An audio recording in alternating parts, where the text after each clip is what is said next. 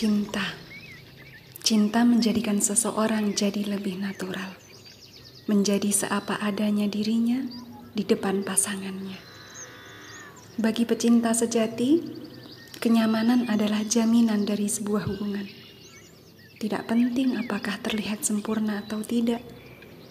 Sebab kadang sesuatu yang tidak sempurna adalah kesempurnaan itu sendiri. Bayangkan betapa bahagianya kita saat kita bisa saling mencintai dengan semampu dan sedaya-daya kita. Perjuangan di luar batas kemampuan hanya akan menjelaskan bahwa kau hanya terobsesi. Nafsu menggebu untuk terus memiliki.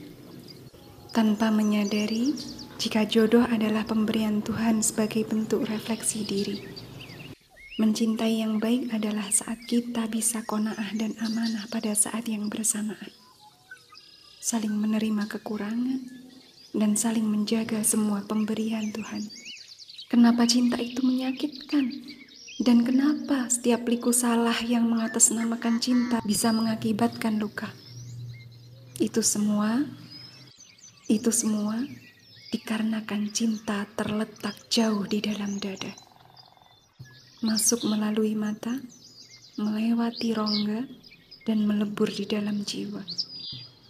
Saat seseorang saling mencinta, mereka tak memiliki pertahanan apa pun dalam hatinya, kecuali rasa saling percaya. Mereka bisa saling tersakiti hanya dengan sebuah kata. Jalan kita sudah tak lagi sama Mungkin sebagian dari mereka tampak kokoh dipandang, tapi nyatanya mereka sangat mudah roboh di dalam.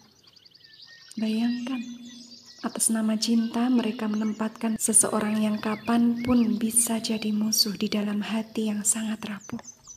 Mungkin hanya berhusnudonlah satu-satunya cara untuk tetap kuat dari serangan jarak dekat itu. Karena nilai cinta sejati muncul dari ketidaksempurnaan terkecil yang dirangkai dan disusun dengan penerimaan terbesar.